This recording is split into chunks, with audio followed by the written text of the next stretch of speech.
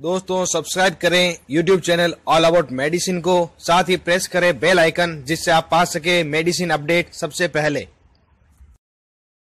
Welcome friends सुस्वागतम दोस्तों। मैं हूँ आपका दोस्त मोहित, और आप देख रहे हैं आपका अपना YouTube channel all about medicine जिसका एकमात्र उद्देश्य है सभी को मेडिकल लिटरेट करना। चलिए, आज फिर कुछ नया सीखते हैं। हेलो फ्रेंड्स मेडिटॉक्स की इस सीरीज़ में आज हम बात करेंगे दवा बीटा हिस्टीन के बारे में। बीटा हिस्टीन दवा का जेनरिक नेम है। ये टेबलेट फॉर्म में मार्केट में अवेलेबल है। इसकी जो टेबलेट है 8 मिलीग्राम 16 मिलीग्राम और 24 मिलीग्राम की स्ट्रेंथ में अवेलेबल है।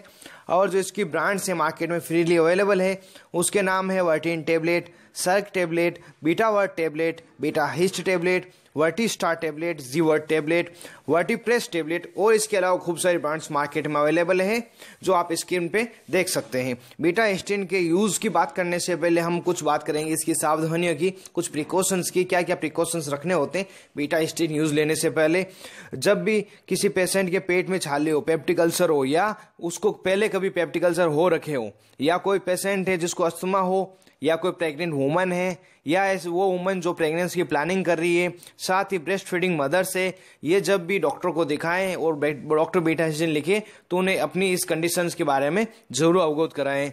और यदि पेशेंट बीटा हिस्टिन से एलर्जिक है, या ट्यूमर के कारण उसकी ब्लड प्रेशर हाई रहती है तो उसे ये कारण भी डॉक्टर को बताना चाहिए और इस पेशेंट को बीटा नहीं दी जाती है। साथ ही यदि किसी बच्चे को चक्कर आ रही है या बच्चे को बीटा की ज़रूरत है तो किसी भी सूरत में बच्चे को बीटा नहीं दें। अब बात करते हैं बीटा के यूज़ की। क्या क्या यूज़ है बीटा के? बीटा का प्रयोग वर्टाइगो और डिजीनेस में लिया जा, से निजात पाने के लिए लिया जाता है। वर्टाइगो का मतलब होता है चक्कर आना। किसी भी कारण से यदि व्यक्ति को चक्कर आ रहा है तो उसको ठीक करने के लिए बीटा टेबलेट का प्रयोग किया जाता है। साथ ही टिनी टिनीटस नाम की बीमारी होती है, जिसमें आपको कान में घंटियाँ से बजने की आवाज़ सुनाई देती है। उस बीमारी को ट्रीट करने के लिए भी बीटा हिस्टिन टेबलेट का प्रयोग किया जाता है। और साथ ही आपको अचानक खड़े खड़े पूरा सर घूमने लग जाए और पूरा दुनिया घूमती हुई लगे तो उस समय भी आपको बीटा हिस्टिन टेबलेट दी जाती है। कम सुनाई देता है किसी पेशेंट को, उसको ट्रीटमेंट करने के लिए भी बीटा हिस्टिन दवा का प्रयोग किया जाता है। बात करते हैं दोस्तों, अब इसके डोज की, डोज क्या रहनी चाहिए?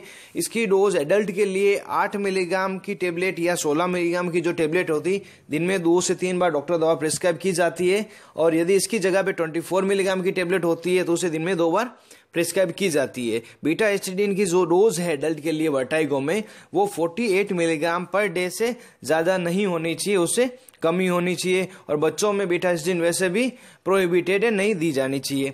अब अगर बीटा एस्टिडीन की ओवरडोज हो जाए, गलती से आपने दवा ज़्यादा ले ली है तो आपको क्या क्या परेशानी हो सकती है? आपको लंग में प्रॉब्लम हो सकती है, आपको हार्ट में कुछ प्रॉब्लम हो सकती है, आपको थकावट सी महसूस होगी और आपको पेट में दर्द होगा, नींद सी आने लगेगी। ऐसे अगर कोई कंडीशन आपको लगे तो आपको ने बीटा की ओवरडोज ले ली है और तुरंत ही अपने डॉक्टर से मिले और दवा का सेवन कम कर दें। और हर दवा का जैसे इफ़ेक्ट के साथ साइड इफ़ेक्ट होता है, वैसे बीटा हिस्टीन के साइड इफ़ेक्ट भी है। उसके बारे में बात करते हैं। बीटा हिस्टीन के जो कॉमन साइड इफ़ेक्ट है, उसमें है, गैस में आपके पेट में गैस बनने लग जाएगी और पेट में जलन सी होगी, आपको सरदर्द सा होगा और इचिंग सा हो सकता है।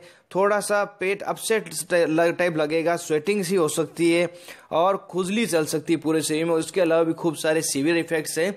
यदि आपको वांछित इफ़ेक्ट से कुछ अलग इफ़ेक्ट मिले तो तुरंत ही दवा का सेवन बंद करें और अपने डॉक्टर से मिलें।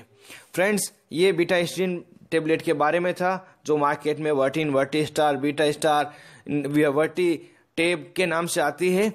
इसे ज़्यादा से ज़्यादा शेयर करें कमेंट करें और इस चैनल को सब्सक्राइब करना नहीं भूलें। आप थे मोहित आदिज के साथ और देख लेते आपका अपना YouTube channel all about medicine thank you friends